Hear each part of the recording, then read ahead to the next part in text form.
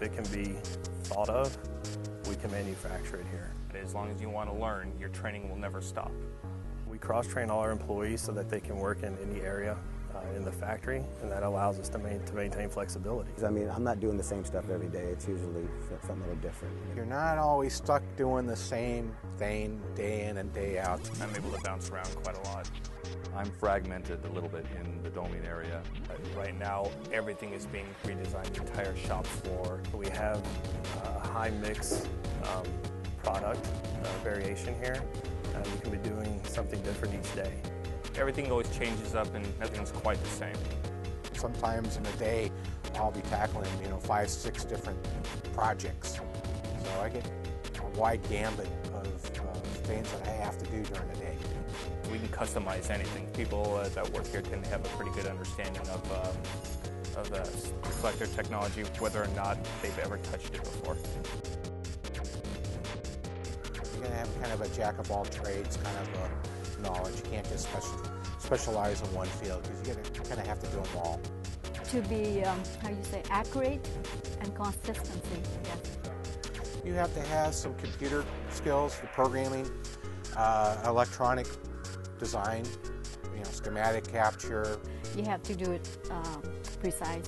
You have the desire to learn, that's fine, but a basic understanding of, of building in general and mechanics in general is really going to go a long way to working here. Of course, a lot of programming.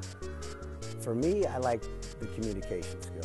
Not only if they have problems with work or just anything else other than work too, you know, and if they're having a bad day or whatever. It's just, my communication skill is always open there to help, to listen. It can be pretty fast paced. Um, it's a lot of work, but it's good work.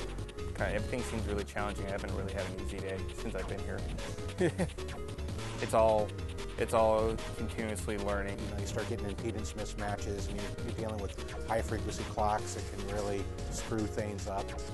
It's not a simple job where you just get to clock in, clock out.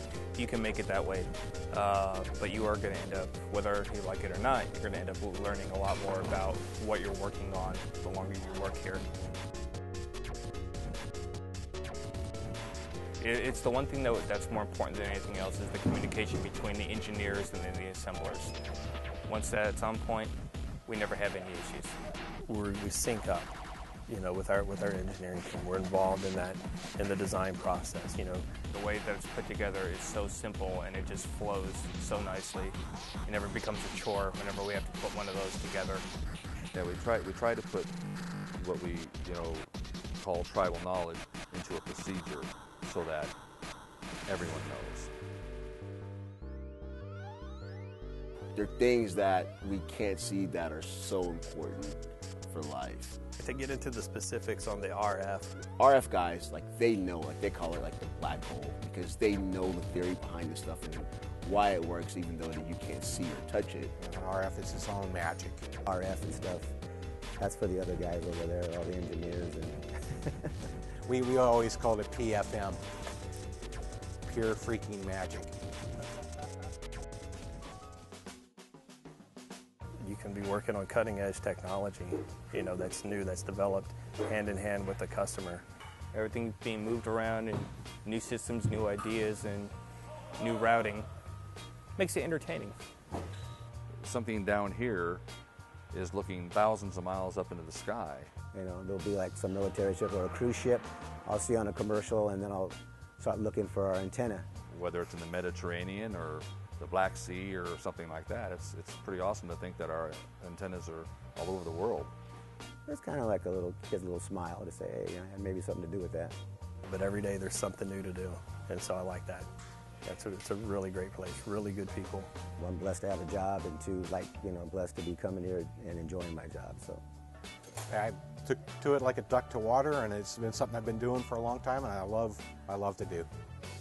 You guys are welcome.